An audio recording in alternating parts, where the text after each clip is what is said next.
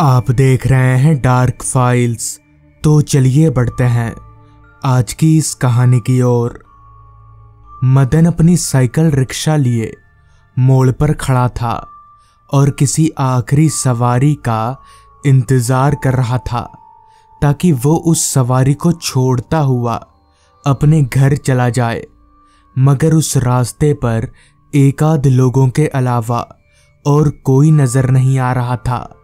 खैर, चूँकि मदन वहाँ पर इकलौता रिक्शा वाला था तो उसे सवारी मिल सकती थी। इकलौता इसलिए क्योंकि मदन के अलावा उस मोड़ पर कोई रिक्शा वाला नहीं था। सभी वक्त के हिसाब से अपने अपने घर जा चुके थे, मगर मदन वो ज़्यादा पैसों के चक्कर में हमेशा रात तक रिक्शा चलाया करता था, लेकिन उसे पता नहीं था कि आज उसके साथ कुछ ऐसा होगा, जिसके चलते उसे रिक्शा चलाने का काम ही छोड़ना पड़ेगा। खैर, कुछ देर और इंतज़ार करने के बाद मदन को दूर से उसकी ओर एक शख्स आता दिखा। मदन समझ गया कि उसे सवारी मिलने वाली है, और ऐसा ही हुआ। वो आदमी ठीक मदन के पास आकर रुका और बोला गंगापुर गाँव चलोगे? गंगापुर गाँव का नाम सुनकर मदन के चेहरे पर थोड़ी परेशानी सी छा गई क्योंकि गंगापुर गाँव मदन के यहाँ से काफ़ी दूर था और उसके घर की उल्टी दिशा में पड़ता था। इसलिए मदन ने उस आदमी से कहा गंगापुर गाँव काफ़ी दूर है भैया। इतनी रात गए वहाँ जाना मुमकिन नहीं है। हालाँकि गंगापुर गाँव उतना दूर भी नहीं था।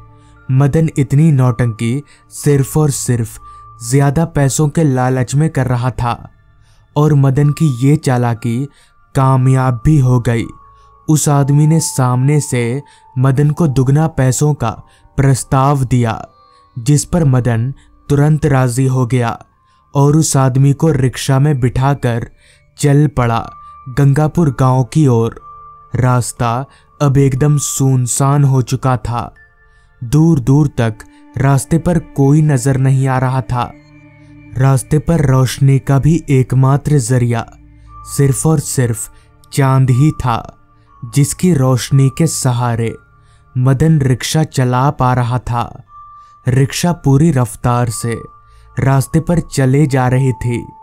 फिजा में चारों ओर खामोशी फैली हुई थी। कुछ देर रिक्शा चलाते रहने के बाद मदन और वो आदमी, वो दोनों गंगापुर गाँव पहुँच गए। रिक्शा से उतरकर उस आदमी ने मदन को दुगना किराया दिया और वहाँ से चला गया। मदन ने भाड़े को संभाल कर अपनी जेब में रखा और अपनी कांच टूटी घड़ी में वक्त देखा तो रात के सवा ग्यारह बज रहे थे।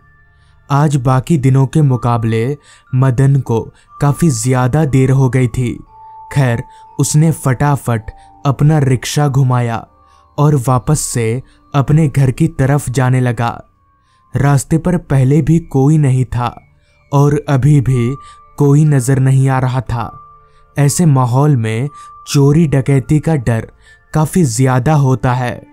और इसीलिए मदन ने अपनी रिक्शा की रफ्तार बढ़ा दी और तेज़ी से आगे बढ़ने लगा। अभी मदन आगे बढ़ ही रहा था कि तभी उसे रास्ते के एक किनारे में जंगल से शियारों के रोने की आवाज़ आने लगी। आवाज़ सुनकर मदन थोड़ा डर सा गया, पर वो जानता था कि जब तक उसकी रिक्शा चलती रही, तब तक कोई भी जंगली जानवर उसे नुकसान नहीं पहुँचा पाएगा। रिक्शा चलाते चलाते अब मदन गंगापुर गाँव के एक स्कूल के पास पहुँच चुका था। वो स्कूल काफ़ी पुराना मालूम पड़ रहा था। स्कूल की बाहरी दीवारों पर दरारें पड़ चुकी थी। अभी मदन रिक्शा चलाते हुए उस चार मंजिला स्कूल के पास से गुजर ही रहा था कि तभी उसे किसी के चीखने की आवाज़ आई। आवाज़ किसी इंसान की थी। मदन ने तुरंत अपनी रिक्शा को वहीं पर रोक दिया और आगे पीछे देखने लगा। मगर ना तो उसके आगे कोई था और ना ही पीछे। पूरा रास्ता सुनसान हो रखा था। मदन ने सोचा कि शायद ये उसके मन का वहम होगा। भला इस रास्ते पर इतनी रात गए कौन चीखेगा? यही सोचकर मदन ने रिक्शा की पैंडल को एक बार घुमाया ही था कि तभी फिर से उसे वही चीखने की आवाज़ आई।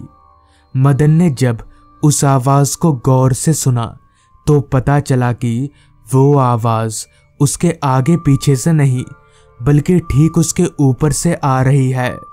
मदन ने तुरंत सिर उठाकर ऊपर देखा तो उसकी हैरानगी की कोई सीमा ना रही। उसने देखा कि स्कूल के तीसरी मंजिल के एक कमरे की खिड़की पर दो बच्चे सिर निकालकर चिल्ला रहे हैं। पर इतनी रात गए ये दोनों बच्चे स्कूल में क्या कर रहे हैं? मदन को यह समझ नहीं आ रहा था। तभी मदन ने उन दोनों बच्चों से चिल्लाकर पूछा, क्या हुआ? तुम लोग चिल्ला क्यों रहे हो? और इतनी रात गए तुम लोग स्कूल में क्या कर रहे हो? मदन की बात सुनकर उनमें से एक ने जवाब दिया, चचा, हम लोग फंस गए हैं अंदर। किसी ने दरवाज़ा बाहर से बंद कर दिया है। आप जरा आकर दरवाज़ा खोल दीजिए ना। मदन को ये सुनकर काफ़ी हैरानी हुई। मदन ने एक नज़र स्कूल के मेन दरवाजे की तरफ़ देखा तो पाया कि स्कूल का मेन गेट खुला हुआ है। पर यह कैसे हो सकता है? अभी थोड़ी देर पहले जब उसने देखा था, तब तो दरवाज़ा बंद था, फिर अपने आप ही कैसे खुल गया? खैर, मदन ने सोचा, बेचारे बच्चों की मदद कर देगा तो अच्छा रहेगा। पता नहीं कब से स्कूल में फंसे हैं। लिहाजा मदन ने अपनी रिक्शा को ठीक वहीं पर रास्ते के एक किनारे पर लगा दिया। और स्कूल के अंदर दाखिल हो गया। वो स्कूल अंदर से किसी खंडहर की तरह लग रहा था। चारों ओर मकड़ी के जाले फैले हुए थे। मदन ने अपनी जेब से पॉकेट टॉर्च निकाला और उसी की रोशनी के सहारे सीढ़ियाँ चढ़ने लगा। उसे तीसरी मंजिल पर जाना था, क्योंकि बाहर से उसने अच्छी तरह से देख लिया था कि वो दोनों बच्चे तीसरी मंजिल पर ही फंसे हुए हैं। सीढ़ियाँ चढ़कर मदन तीसरी मंजिल पर पहुँचा। तो उसने देखा कि बाकी फ्लोर्स के मुकाबले इस फ्लोर पर गंदगी कुछ ज़्यादा ही है। खैर उसने एक एक कमरों का दरवाज़ा पीटना शुरू कर दिया। पहले तीन चार कमरों से तो कोई आवाज़ नहीं आई। मदन को बड़ा अजीब लगा। क्योंकि उसने बाहर से जो नोटिस किया था, उस हिसाब से तो बच्चों को इन्हीं कमरों में होना चाहिए था। तो फिर वो लोग गए कहाँ? खैर, मदन बाकी कमरों का दरवाज़ा खोल खोल कर देखने लगा, मगर बच्चे कहीं पर भी नहीं थे। मदन को जरा भी समझ नहीं आ रहा था कि आखिर उसके साथ हो क्या रहा है। वो बच्चे गए तो गए कहाँ? मदन ने एक दो बार और उन बच्चों को ढूँढने की कोशिश की, लेकिन जब वो बच्चे नहीं मिले तो मजबूरन उसे इन सारी चीज़ों को अपने मन का वहम मानना ही पड़ा, जिसके बाद वो वापस स्कूल से बाहर निकलने लगा। स्कूल से बाहर निकलकर चलते हुए मदन जब अपनी रिक्शा के पास आया तो उसकी हैरानगी की कोई सीमा ना रही, क्योंकि वही दोनों बच्चे जो थोड़ी देर पहले स्कूल के एक कमरे में फंसे हुए थे, वही दोनों अब मदन की साइकिल रिक्शा पर बैठे हुए थे। वही दोनों बच्चों को अपनी रिक्शा पर देखकर मदन के होश उड़ चुके थे। उसे समझ नहीं आ रहा था कि आखिर ये दोनों यहाँ आए कैसे। तभी उन दोनों में से एक बच्चे ने मदन से कहा, चचा, हमें जरा आगे तक छोड़ दीजिए ना। इस पर मदन ने कहा, वो तो ठीक है, पर तुम लोग नीचे कैसे आए? इस पर उस बच्चे ने कहा, हम कहीं भी कभी भी जा सकते हैं। मदन के पास रिक्शा लेकर आगे बढ़ने के अलावा कोई चारा तो था नहीं, इसलिए वो रिक्शा में उन दोनों बच्चों को बिठाकर आगे बढ़ने लगा। मगर उसका दिमाग अभी भी इसी सवाल में गुम था कि आखिर ये दोनों बच्चे नीचे आए कैसे? रिक्शा चलाते हुए अब काफ़ी दूर निकल आया था मदन। मगर पीछे से उन दोनों बच्चों ने अभी तक कुछ नहीं कहा था। तभी मदन बोला, कहाँ उतरना है तुम लोगों को? मगर इस पर बच्चों ने कोई जवाब नहीं दिया। बच्चों से कोई जवाब ना पाकर मदन एक दफ़ा पीछे पलटा तो उसके पैरों तले की ज़मीन निकल गई, क्योंकि पीछे सीट पर अब कोई नहीं था।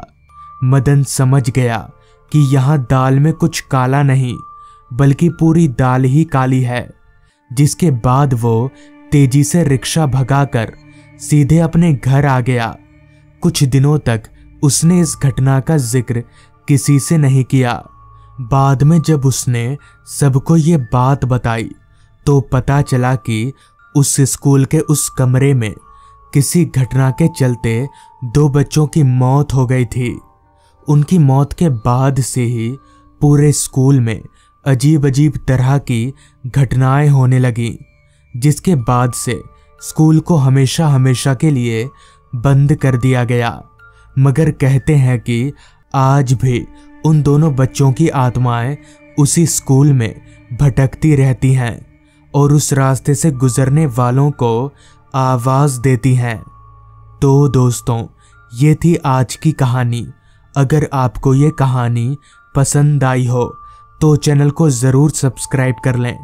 तो मैं आपका दोस्त आर्यन, जल्द ही मिलूँगा आपसे ऐसी ही एक कहानी के साथ।